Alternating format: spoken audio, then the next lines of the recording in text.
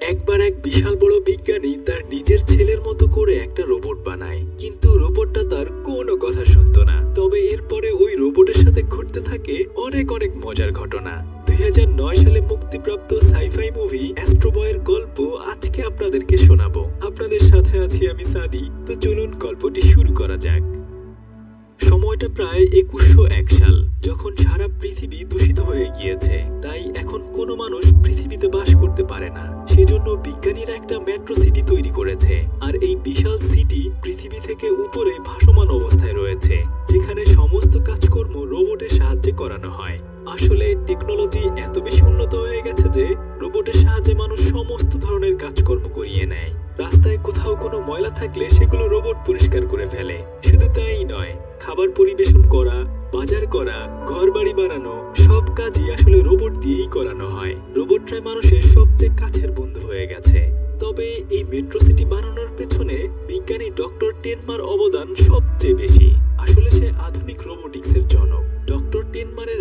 আদরের ছেলে রয়েছে, যার নাম টবি। সেও তার বাবার মতো অনেক বেশি মেধাবী। ফিজিক্স ক্লাসে সে সবার আগে অল্প সময়ে অনেক বড় বড় সূত্র সমাধান করে ফেলে। এটা দেখে তার টিচার অনেক বেশি অবাক হয়ে যায়। টবি ওখান থেকে চলে গেলে টিচার তার স্কোর চেক করে দেখতে পায় যে সে একশোতে একশো পেয়েছে। যাই হোক, টবি স্কুল থেকে বের হওয়ার সাথে সাথে অরিন নামে একটা রোবট তাকে বাড়িতে নেওয়ার জন্য আসে। সে যখন গাড়ির ভিতরে ওঠে ঠিক তখনই হলোগ্রাফিক ইমেজের মাধ্যমে সাথে কথা বলতে থাকে। সে তার বাবাকে বলতে থাকে, বাবা, জানো, আজকে আমি পরীক্ষায় একশোতে একশো পেয়েছি। তখন তার বাবা তাকে নিয়ে অনেক গর্ববোধ করে। কিন্তু সে তখন টবিকে বলে, আমি তোমাকে কোয়ান্টাম মেকানিক্সের ওই অনুষ্ঠানে নিয়ে যেতে চেয়েছিলাম। কিন্তু আজকে প্রেসিডেন্ট পিসকিপার নামক ওই স্পেশাল রোবটটা মানুষের সামনে নিয়ে আসবে। তাই তোমাকে আমি আর ওখানে নিয়ে যেতে পারছি না। এটা বলেই তার বাবার হলোগ্রাফিক ইমেজ বন্ধ হয়ে যায়। কিন্তু একথা শুনে টবির অনেক বেশি মন খারাপ হয়ে যায়। কেননা সেও পিসকিপার নামক ওই রোবটটিকে দেখতে যাচ্ছিল আর তাছাড়া নতুন রোবট দেখার জন্য তার মন উতলা হয়ে যায়। তাই সে তখন রোবট অরিনকে বলে বিজ্ঞান মন্ত্রণালয়ে যাওয়ার জন্য। কিন্তু রোবটটা তার কোনো কথা শুনে না, বরং উল্টো বলে, তোমার বাবা বলেছে তোমাকে স্কুল থেকে বাড়িতে নিয়ে যাওয়ার জন্য। আমি তার কথা অমান্য করতে পারি না, তাই সে টবির কথা শোনে না। তবে টবিও বেশ বুদ্ধিমান ছেলে, সে তখন রোবটটির ফাংশন এলোমেলো করে তাকে নিয়ে তার বাবার অফিসের দিকে রওনা হয়। ছোট্ট একটা বিজ্ঞাপন রয়েছে, আপনি চাইলে ঘরে বসেই আপনার ক্রিকেটের জ্ঞানকে কাজে লাগিয়ে Lotus three sixty five dot কমে প্রেডিকশন করে হাজার হাজার টাকা ইনকাম করতে পারেন। শুধু তাই নয়, এছাড়া আপনি সেখানে প্রায় দুশোটির মতো গেম খেলতে পারবেন। প্রতিটি ম্যাচে কোন দল জিতবে এসব কিছু প্রেডিকশন করতে হবে। লোটাস থ্রি সিক্সটি ফাইভ এর ব্র্যান্ড অ্যাম্বাসেডর নওয়াজ সিদ্দিকি, উর্বশী রাউটেলা, কাজল আগারওয়াল ইনস্টাগ্রামে সার্চ করলে দেখতে পাবেন। মজার ব্যাপার হচ্ছে মাত্র বিশ মিনিটের ভেতর আপনি আপনার জমানো টাকা উইথড্র করতে পারবেন। আপনি ফার্স্ট ডিপোজিটে পাঁচ হাজার টাকা পর্যন্ত পেয়ে যাবেন। রেজিস্ট্রেশন লিংক কমেন্ট বক্সে পিন করে দিয়েছি। তো চলুন গল্পটি শুরু করা যাক। আর এদিকে প্রেসিডেন্ট একদল রোবট নিয়ে ডেনমারের সাথে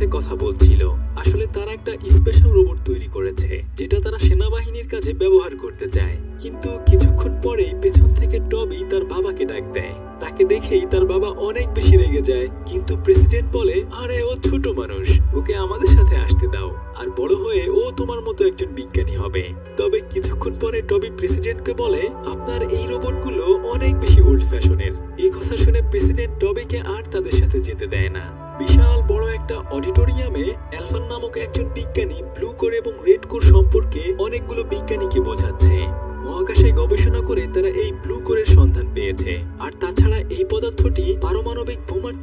অনেক বেশি শক্তিশালী, যা দিয়ে সমস্ত মেট্রো সিটির মানুষের কাজে লাগানো যাবে। শুধু তাই নয়, এই ব্লু কোরের সাহায্যে পৃথিবীতে আবার নতুন করে সব কিছু ঠিক করা সম্ভব হবে। তবে এর সাথে আরেকটা দুঃসংবাদ রয়েছে। এই যে লাল রঙের যে পদার্থটি রয়েছে, এটা খুবই ভয়ঙ্কর। বিজ্ঞানীরা এখনও চেষ্টা চালিয়ে যাচ্ছে এটাকে নিয়ন্ত্রণ করার জন্য। যখন সে এসব কথা বলছিল, ঠিক তখন প্রেসিডেন্ট এসে তাকে থামিয়ে দেয় এবং তার কাছ থেকে লাল ও নীল রঙের পদার্থ দুটিকে নিয়ে নেয়। এরপর তারা সবাই মিলে যে স্পেশাল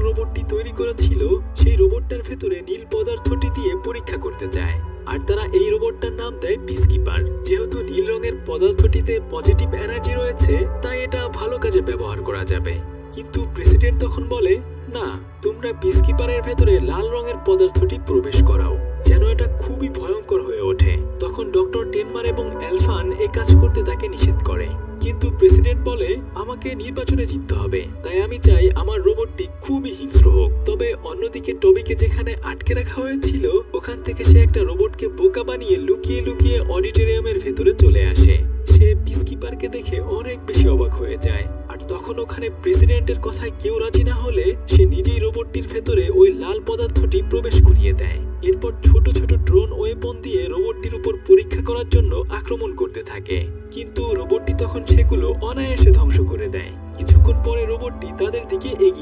থাকে। ডক্টর টেনমার এগুলো দেখে খুব দ্রুত ইমার্জেন্সি দরজাটি বন্ধ করে দেয়। তবে কপাল খারাপ, ওই দরজার ভেতরে টবি আটকে যায়। কিন্তু তার বাবা তখন অনেক চেষ্টা করেও তাকে বাইরে বের করে আনতে পারে না। ডক্টর এলফান তখন রোবটটিকে নিয়ন্ত্রণে আনতে গেলে ওখানে বিশাল একটা বিস্ফোরণ হয়, যার ফলে টবি ওখানেই মারা যায়। তার বাবা নিজের ছেলেকে হারিয়ে অনেক বেশি কষ্ট পায়। সে কয়েকটা দিন পেরিয়ে যায়। কিন্তু টবির বাবা তার কথা একটুও ভুলতে পারছিল না। তাই সে অনেক কষ্ট করে টবির মতো দেখতে হুবহু একটা রোবট বানায় এবং টবির মাথার একটা চুল থেকে ডিএনএ টেস্ট করে ওই রোবটের ভেতরে টবির সমস্ত মেমরি ট্রান্সফার করে দেয়। কিছুক্ষণ পরে ওখানে ডক্টর এলফান চলে আসে। সে ওই নীল রঙের পদার্থটি তার জন্য নিয়ে আসে। এবার ডক্টর টেনমার ওটা টবির রোবটের ভেতরে প্রবেশ করিয়ে দেয়। কিছুক্ষণের মধ্যেই সমস্ত শক্তি শোষণ করে রোবটটি একদম টবির মতো হয়ে যায়। সে ডক্টর টেনমারকে বাবা বলে ডাকতে থাকে। তখন তার বাবা তাকে নিয়ে বাসায় চলে আসে। নিজের ছেলেকে এভাবে রোবটের ভেতর ফেরত পেয়ে তার বাবা অনেক বেশি খুশি হয়ে যায়। তবে তাদের রোবট অরিন বুঝে যায় এটা আসলে টবি নয়, এটা টবির রোবট। ডক্টর টেনমার তখন অরিনকে নিষেধ করে টবিকে এই কথা বলতে। যাই হোক তার বাবা তাকে বলে, এখন থেকে তোমাকে আর স্কুলে যেতে হবে না। আমি বাড়িতেই তোমাকে সব কিছু শেখাবো। সে সব কিছু তার বাবার কাছে শিখতে থাকে। একদিন টবের সেই টুপিটা রোবট অরিন তাকে দেয়। কিন্তু সে এই টুপিটা একদমই পছন্দ করে না। এটা দেখে তার বাবা অনেক বেশি কষ্ট পায়। সে বুঝতে পারে, একটা রোবট কখনোই তার নিজের ছেলের মতো হতে পারে না। তাই সে টবিকে রাগ করে তার রুমে চলে যেতে বলে। কিন্তু কি আর করা, বাবার মন তো আর মানে না। এই রোবটটাকে পেয়ে যদি সে তার ছেলে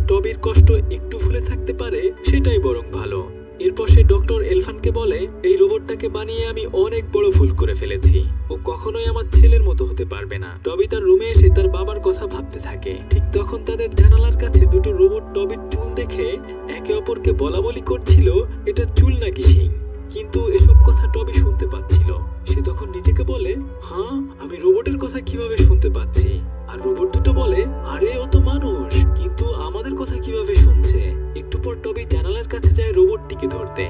কিন্তু হঠাৎ করে সে উপর থেকে একদম নিচে পড়ে যায়। যখন সে একেবারেই নিচে পড়ে যাচ্ছিল, ঠিক তখন ভয়ে সে চোখ বন্ধ করে রাখে।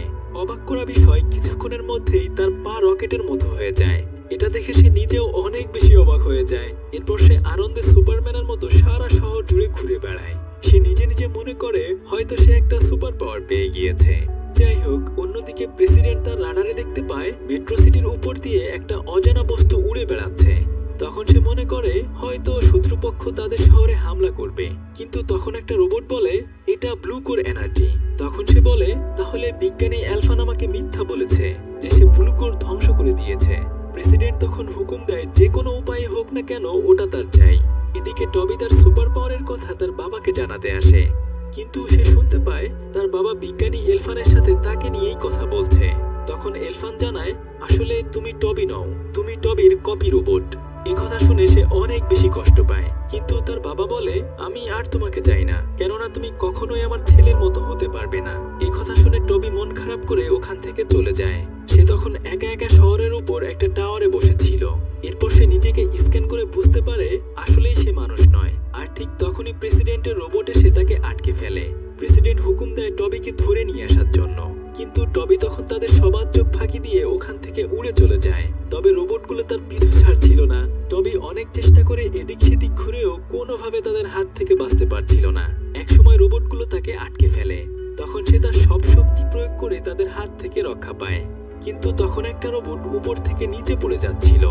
তবে মুহূর্তের মধ্যেই ওই রোবটটিকে বাঁচিয়ে নেয়। এটা দেখে প্রেসিডেন্ট হুকুম দেয়, যেভাবেই হোক না কেন টবিকে ধরে এনে তার থেকে ওই ব্লু কোর ছিনিয়ে নিতে হবে।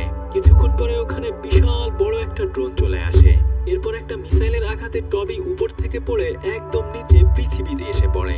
ঠিক তখন ওখানে ভাঙাচোরা রোবটগুলো তার উপর আক্রমণ করতে চায়। বেচারা ওখান থেকে কোনো মতে পালিয়ে আসে। আসলে ওই মেট্রো সিটি থেকে সমস্ত ময়লা আবর্জনা পৃথিবীতে ফেলা হতো। কিন্তু কিছুক্ষণ পরে ওখানে ছোট্ট একটা রোবট এসে টবিকে একটা গর্তের ওখানে নিয়ে যায়। ওর ভেতরে কি আছে সেটা দেখার জন্য সামনে গেলেই টবিকে কয়েকটা ছেলে মেয়ে আটকে ফেলে। আসলে এই পৃথিবীর বাচ্চা ছেলে মেয়েগুলো ওখানে ভাঙাচোরা রোবট এগুলো সংগ্রহ করে। কিন্তু টবি তখন বলে, আরে, আমি রোবট না। আমি একজন মানুষ, কিন্তু আমি কীভাবে যেন পৃথিবীতে চলে এসেছি? তখন ওখানকার ছেলে মেয়েগুলো টবের সাথে পরিচিত হতে থাকে। তারা বলতে থাকে, আমি জেন, আমি হুইজেট, আমি স্লাস আর আমি কোরা। আর ঠিক তখনই কোথা থেকে যেন কয়েকটা রোবট এসে টবিকে ওখান থেকে ছিনিয়ে নিয়ে যায়। রোবটগুলো টবিকে বলতে থাকে, তুমি তো দেখি আমাদের মতোই রোবট, তবে তুমি আমাদের চেয়ে অনেক বেশি উন্নত। আমরা চাই রোবটরা যেন মানুষের কাছ থেকে স্বাধীনতা পায়। যেন আর মানুষের গোলাম না হয়ে থাকতে হয়। আর ঠিক তখনই টবিকে বাঁচানোর জন্য কুরা সহ তার সমস্ত বন্ধুরা ওখানে চলে আসে। তারা তখন তাকে ওখান থেকে বাঁচিয়ে আনে। সবাই তখন টবির কাছে তার নাম জিজ্ঞেস করে। টবি যেন তাদের কাছে ধরা না পড়ে যায়, সেজন্য সে নিজেকে অ্যাস্ট্রো বলে পরিচিত হয়। আর ওদিকে মেট্রো সিটিতে প্রেসিডেন্ট এসে বিজ্ঞানী অ্যালফানকে গ্রেপ্তার করে নিয়ে যেতে চায়। তখন ওখানে টবির বাবা এসে প্রেসিডেন্টকে বলে, যদি আমি কখনো টবিকে ফিরে পাই, তাহলে ওর ভেতর থেকে ওই ব্লু কোডটা আপনার কাছে ফিরিয়ে দেব। কথা শুনে তারা অ্যালফানকে ছেড়ে দেয়। এদিকে টবি তার বন্ধুদের সাথে তাদের বাসায় চলে আসে। আসলে এখানে হ্যামেক নামে একজন মেকানিক রয়েছে। বাচ্চারা সারাদিন ময়লার ভেতর থেকে রোবটের কলকবজা কুড়িয়ে এনে তার কাছে জমা দেয়। সেগুলোকে সে মেরামত করে আবার নতুন করে রোবট বানায়। সে তখন টবিকে দেখে অনেক বেশি খুশি হয়ে যায়। তারা সবাই একসাথে বসে রাতের খাবার খায়। আসলে এখানে যাদের মা বাবা নেই, তারা সবাই একসাথে মিলেমিশে থাকে। আর হ্যামেক তাদেরকে গার্ডিয়ানের মতো দেখাশোনা করে রাখে। রাতের বেলায় ঘুমানোর সময় সে টবিকে বলে, আমিও এক সময় মেট্রো সিটিতে কাজ করতাম। ওখানকার বিজ্ঞান মন্ত্রণালয়ে আমি আর টেনমার একসাথে মিলে রোবট বানাতাম। কিন্তু কোনো এক কারণে তারা আমাকে ওখান থেকে তাড়িয়ে দেয়। তবে টবি তার কাছে তার নিজের আসল পরিচয় দেয় না। যাই হোক, পরদিন সকালবেলা তারা সবাই মিলে আবার রোবটের কল কবজা খুঁজতে যায়। টবি তখন ওখানে বিশাল বড় একটা পুরনো রোবট দেখতে পায়। কিন্তু তার বন্ধুরা বলে, আরে, এটা অনেক বেশি পুরনো। আর এটা এত ভারী, আমরা ওকে কখনোই হ্যামেকের কাছে নিয়ে যেতে পারব না। তবে টবি তখন রোবটের ভিতরে গিয়ে চোখ দিয়ে সবকিছু স্ক্যান করে দেখে যে কোথায় কি সমস্যা রয়েছে। সে বুঝতে পারে যদি এই রোবটটার ভেতরে এনার্জি প্রবেশ করানো যায়, তাহলে এটা আবার কাজ করতে শুরু করবে। তাই সে তখন নিজের ভেতর থেকে ব্লু কোরের এনার্জি রোবটটার ভেতরে প্রবেশ করিয়ে দেয়। কিছুক্ষণ পরে তারা রোবটটিকে নিয়ে হ্যামেগের কাছে আসে। হ্যামেগ এটা দেখে অনেক বেশি অবাক হয়ে যায়। এরপর তারা সবাই মিলে ধুয়ে মুছে রোবটটাকে একদম নতুন করে ফেলে। এখন এটা দেখতে আধুনিক রোবটের মতো হয়ে গেছে। তারা সবাই একসাথে হয়ে রোবটের সাথে একটা ছবি তুলে। রাতের বেলায় মেট্রো সিটির দিকে তাকিয়ে টবি তার বাবার কথা ভাবতে থাকে।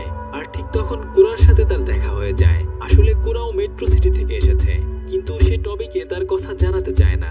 আর টবিও অনেকবার চেয়েছে নিজের পরিচয় দিতে। কিন্তু সেও কোরাকে তার কথা বলতে পারে না। যাই হোক পরদিন হ্যামেক ওই বিশাল বড় রোবটটিকে নিয়ে আসে ফাইট করানোর জন্য। কিন্তু তখন সে ইলেকট্রিক শক দিয়ে টবিকে অজ্ঞান করে ফেলে।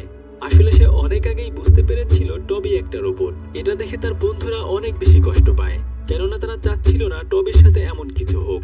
হ্যামেক তখন জোর করে ফাইট করানোর জন্য টবিকে ওখানে নিয়ে যায়। আসলে পৃথিবীর মানুষজন মেট্রো সিটির মানুষদেরকে খুবই অপছন্দ করত।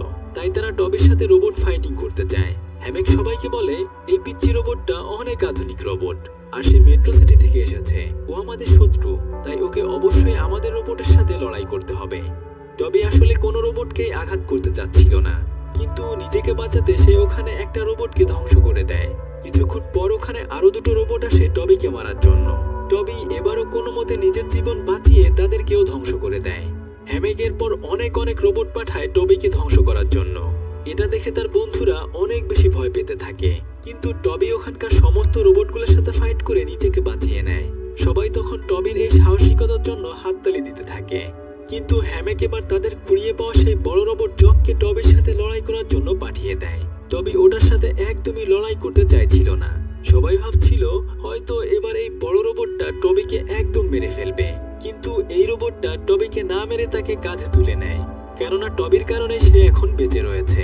হ্যামেক তখন রাগ করে টবিকে শক দিতে থাকে আর ফাইট করার জন্য বলতে থাকে। তখন বড় রোবট জক রাগ করে হ্যামেককে এক পাড়া দিয়ে পিষে ফেলতে চায়, কিন্তু টবি তাকে বাঁচিয়ে নেয়। অন্যদিকে মেট্রো সিটিতে প্রেসিডেন্ট টবির লোকেশন খুঁজে পায়। আর কিছুক্ষণের মধ্যেই পৃথিবীতে রোবট চলে আসে টবিকে ধরার জন্য। তারা তখন টবিকে ওখান থেকে ধরে মেট্রো সিটিতে নিয়ে আসে। প্রেসিডেন্ট টবির বাবাকে বলে, তাকে মেরে তার ভেতর থেকে ব্লুকোর বের করে দিতে। তার বাবা তখন নিরুপায় হয়ে টবির ভেতর থেকে ব্লু কোর বের করে প্রেসিডেন্টের হাতে তুলে দেয়।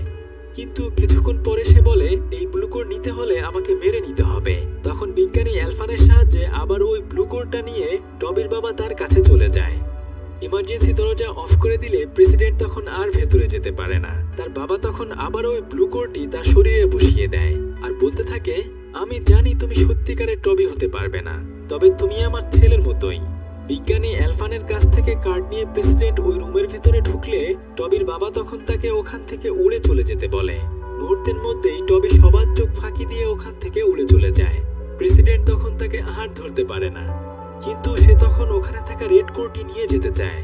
সবাই তাকে অনেক নিষেধ করলেও সে কারও কোনো কথা না শুনে ওই লাল রঙের পদার্থটি পিসকিপার নামক রোবটের ভেতরে প্রবেশ করিয়ে দেয়। প্রেসিডেন্ট তখন তাকে হুকুম দেয় টবিকে ধরে নিয়ে আসার জন্য। কিন্তু পিসকিপার তখন রাগ করে প্রেসিডেন্টকেও তার নিজের ভেতরে নিয়ে নেয়। এরপর সে সারা শহর জুড়ে ধ্বংসলীলা চালাতে থাকে। দূর থেকে টবি এ সব কিছু দেখে সিদ্ধান্ত নেয়, সে মেট্রো সিটির সবাইকে বাঁচিয়ে নেবে। তাই সে তখন আবার মেট্রো সিটির উদ্দেশ্যে রওনা হয়। সে গিয়ে পিসকিপারের সাথে লড়াই করতে শুরু করে। আসলে সে পিসকিপারের সাথে পেরে উঠছিল না। মেট্রো সিটিতে যখন এমন গুলাগুলি হচ্ছিল, এসব কিছু পৃথিবী থেকে টবির বন্ধুরা দেখতে পাচ্ছিল। তারা বুঝতে পেরেছিল হয়তো টবির কোনো বিপদ হয়েছে। তাই তারা তখন হ্যামেগের কাছ থেকে গাড়ি নিয়ে মেট্রো সিটির উদ্দেশ্যে রওনা হয়। ওদিকে পিসকিপার প্রায় টবিকে মেরেই ফেলছিল। কিন্তু সে তার পেছন দিক দিয়ে দুটো বন্দুক বের করে তাকে গুলি করে কোনো রকম নিজেকে বাঁচিয়ে নেয়। এটা দেখে পিসকিপার অনেক বেশি রাগ করে টবিকে অনেক জোরে আঘাত করে। যার ফলে টবি অনেক দূরে ছিটকে এসে পড়ে।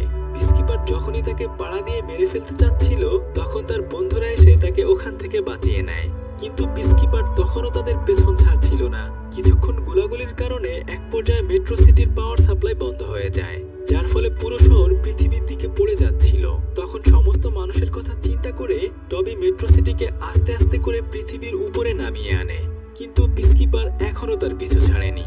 সে টবিকে তার নিজের ভেতরে প্রবেশ করায়, যার ফলে ব্লু কোর এবং রেড কোর একত্রিত হয়ে বিশাল একটা বিস্ফোরণ ঘটে। টবি অনেক দূরে ছিটকে পড়ে যায়। সে তখন অনেক দুর্বল হয়ে পড়ে। তার বাবা তখন তাকে ওখান থেকে অন্য জায়গায় নিয়ে যেতে চায়। কিন্তু পিসকিপার তার বন্ধুদেরকে ধরে বারবার জিজ্ঞেস করতে থাকে টবি কোথায় রয়েছে। তখন টবি তার বন্ধুদেরকে বাঁচানোর জন্য যেতে চায়। কিন্তু তার বাবা চাচ্ছিল না, টবি পিসকিপারের সাথে লড়াই করে মারা যাক। কিন্তু টবি তার বন্ধুদেরকে বাঁচানোর জন্য